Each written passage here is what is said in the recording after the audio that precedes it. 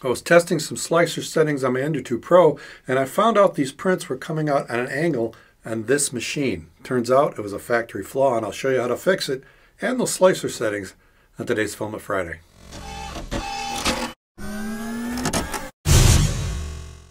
Filament Friday is brought to you by the generous donations of these Patreon supporters. This video is also sponsored by Creality3dofficial.com by ComGrow. This all started when I made this mount for my print removal tool that snaps on right here to the arm so it can hold the tool and it's handy to get to. But I noticed in that print when I sliced it, sometimes there'd be a gap between the walls. I did two walls and I get gaps and in another profile I got no gap. So I wanted to figure out what the difference was. So I just wanted to test a cube with a one millimeter wall. So I went into Tinkercad and I made one and that's what I used for my tests. I just used a 20 millimeter cube and then I used a hole block that was 18 millimeters square. So that way it left a one millimeter wall all the way around. So I knew exactly how thick my walls are when I printed it.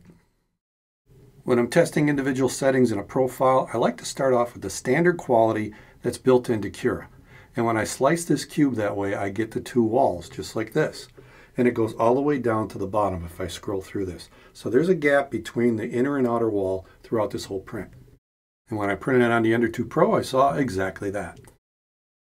The standard quality profile has a 0.4 line width. Well, that's 0.8 if you have two walls, not one millimeter like this cube. So I'm going to set it to 0.5 line width. That way it should give me a one millimeter width wall. But when I slice it and look at the preview, I still have a gap between these two walls. But when I actually printed it, that gap did get a little bit smaller, so the preview is not completely accurate. Next, I tried the outer wall inset. This you can shift the outer wall in a little bit. In my case, I like to use 0.15. Now, this throws off the dimension a little bit, but a lot of times this will fill in that gap, and sure enough, it now looks like one wall. Even though there's two here, they merge together with that little 0.15 adjustment. And when it prints, you can see there's no line. So it definitely fixed that issue. Testing a few of these blocks, I couldn't separate those walls. So it's not a structural issue, it's more looks. So I enabled ironing to smooth out the top. And if I zoom in on the preview, you can see it puts a little layer to fill that gap. And it should flatten that out and make it nice and smooth. And when I printed it out, sure enough, the top of this thing looks really smooth. I know the gap is in there, but it's not a structural issue, so this is a quick way to solve it in the slicer. Now I noticed that one of the printers was not giving me a smoother print, and also the walls were leaning to one side. So I decided to lean it up against a square to see if these walls were indeed crooked. And when I did, I could see a gap.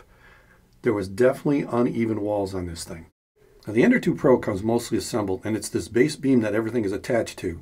The y-axis, and then the upright z-axis, and then the cross beam here that hangs from it. So this cross beam should be parallel to this bottom beam, and that's what I suspected may not be true.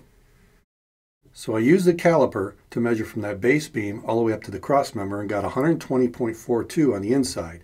But when I came to the outside, I got a much larger reading, 122.68. So that's two millimeters across the bed. That's a big difference. This screw on the cross member can actually be loosened and adjusted. And this comes from the factory already tightened. So I loosened it up and look how much movement you can get in this thing. So I pushed it all the way down, then tightened the screw back up.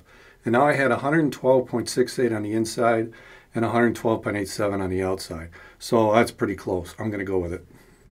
And when I printed a chep cube, it came out nice and straight and much smoother than I was getting on those squares.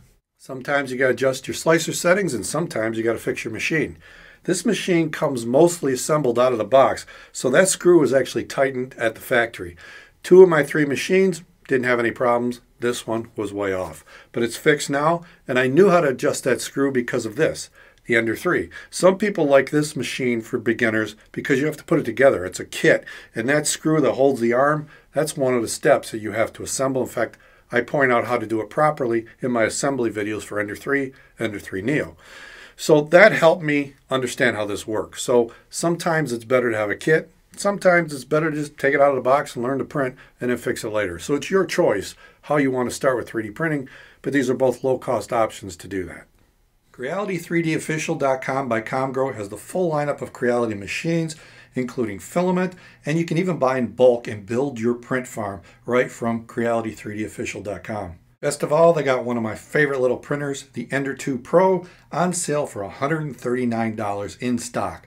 So get one now before they're gone. If you like what I'm doing here, maybe check out some of the other videos that are popping up. If you want to help support the channel, Patreon is one way, or just buy through those affiliate links in the description below.